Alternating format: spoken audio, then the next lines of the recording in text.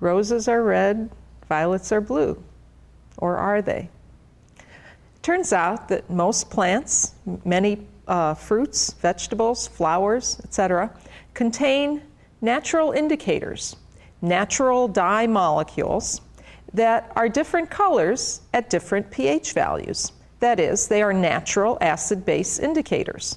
And this uh, experiment that I'm going to demonstrate is called Natural Indicators because it involves uh, basically an inquiry based experiment that students can run to extract natural indicators from a variety of natural sources.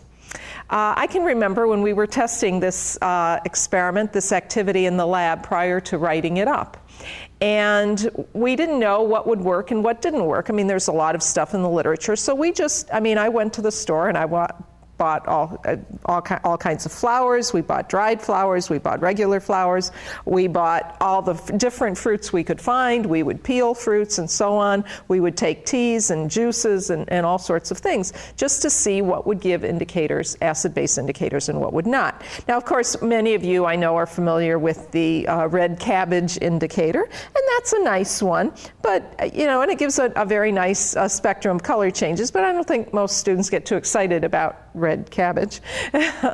and uh, when we were doing this one in the lab, you know what? The lab never smelled so nice as it did that, that week, basically, that we were testing natural indicators.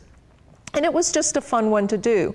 Um, and so, what I've got here are several different sources of natural indicators. Just before we do that, probably the most well known one in um, if you are a gardener, uh, has to do with hydrangeas.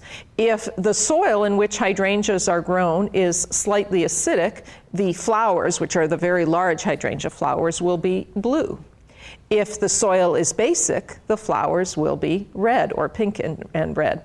And that's a well known example of an indicator where the color of the flower depends on the acidity of the soil.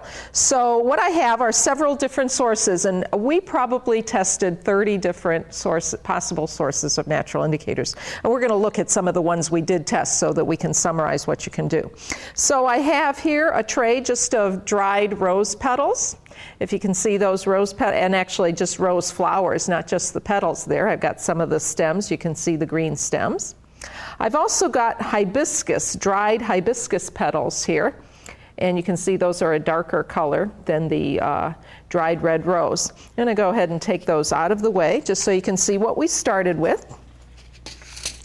And what I did was I extracted those. So this was a uh, a beaker that I had added the rose petals to. And uh, you can see that if you take a look at the rose petals in there, pretty much the color out of them is gone, and the color of the liquid that remains is the red color of the liquid. And this is the hibiscus, and you can see that the hibiscus is a real deep cherry red there. Now, you can do the extraction any number of ways. If you want to do it very quickly, you simply do it like you make a pot of coffee or, or a cup of tea. That is, you extract the uh, petals, the uh, flowers, the fruits, whatever you're doing, with boiling hot water and you know a few minutes and you're done. You can do it with a solvent if you want. You can use isopropyl alcohol. Or the easiest way, which is what I did, was simply to extract it overnight at room temperature with water. And so that's what these are. These were extracted overnight. Now, in these cases, you're going to have to filter them. You can also use tea bags. These are uh, simply, they're not labeled here, but these, I, I think, were a, a, brand of herbal tea. Uh, cranberry apple was, I think, the particular flavor. Um, I'll just say something, and it may, might tell you why we chose the hibiscus. If you look at the uh, ingredients list for almost any herbal tea, it turns out that the primary ingredient, the one that's listed first on the label, is always hibiscus.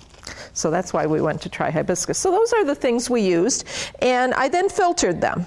Okay, so I filtered the rose one here, and can you can you see those well? Um, and so I have a clear a clear liquid uh, for the rose. You can see the hibiscus is that cherry red color. The cranberry tea is nice because I use the tea bags, and so I can simply decant that. So I'll go ahead and do that. And that's my cranberry tea indicator. And then finally, we're just going to use some grape juice. And this is 100% grape juice. It's not grape drink. Uh, we'll get that open.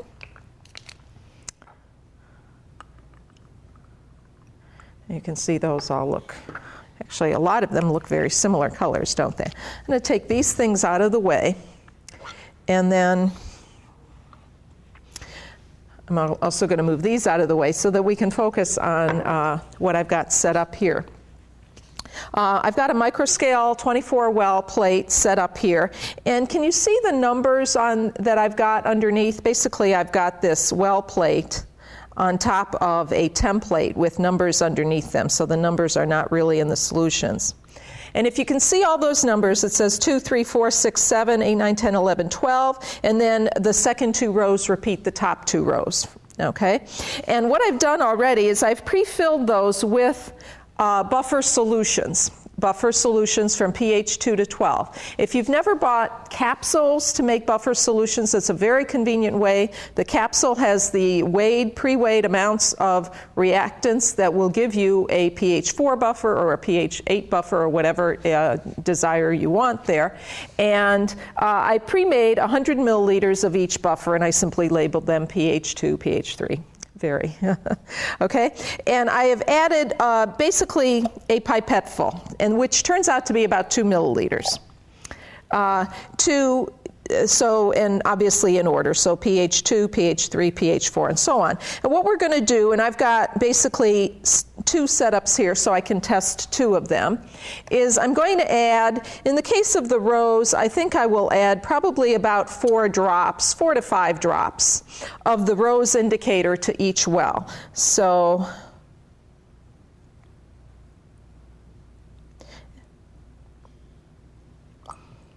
And what we're going to look at is the uh, effect of the pH on the color.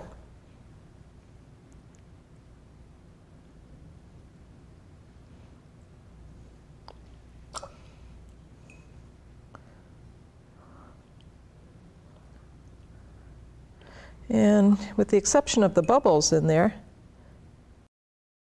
so you can certainly see a difference in the color since uh, well, I'm not going to do that. Um, so you can see a very interesting color gradation. Uh, in acidic solution, obviously, that pH indicator is uh, uh, pink red to pink. It goes pretty much colorless, although then it adds another color in the basic range, which is a yellow color, and then that color becomes more intense until you finally. So it would appear that that indicator has two transition ranges.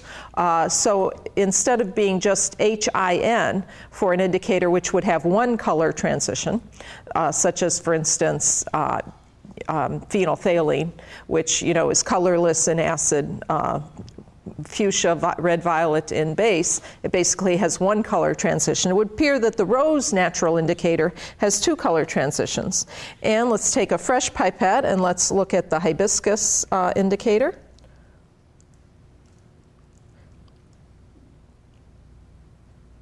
And you can see that that's a more intense uh, color, but you can also see that there's a color change there as well.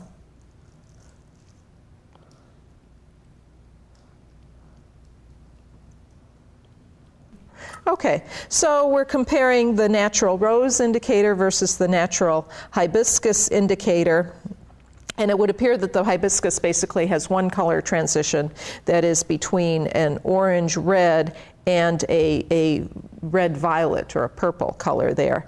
Uh, and it would appear that the transition is between six and seven in terms of that one.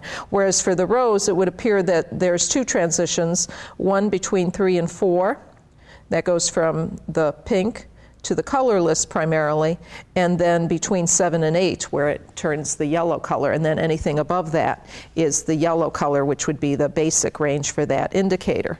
Um, let's remove that. And I have another well plate, and make sure I've got that set up correctly, and I do because 13 doesn't exist, right? And just because I, I have two more indicators, so I'm just going to go ahead and add. This shows you that this is really what I did uh, with that pre filled plate. I wanted to do one. That's two, three, four, five, and we're going to test uh, the cranberry tea and also the grape juice. This is six.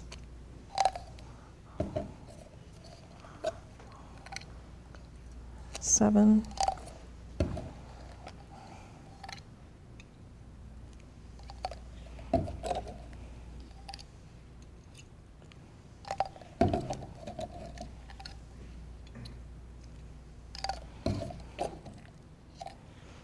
Eleven and 12.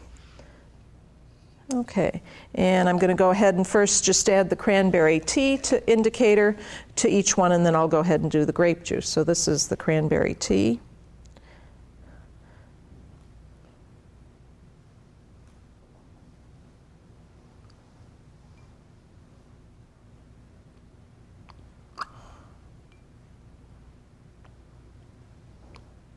And I think you can already see that the cranberry tea one, pretty much as we uh, telegraphed at the beginning, looks like very similar to, although not identical, to the, um, the way the hibiscus looked, which it appears to have only one transition range. There does appear, though, to be actually, uh, now that I say that, a different color. So we've got that orange red, there's a transition then to a purple color, but notice out here that we actually get a green color uh, with the cranberry tea. So there's probably something else in there that gives that uh, transition range. Let's look at the grape juice. And again, this was just pure unadulterated grape juice.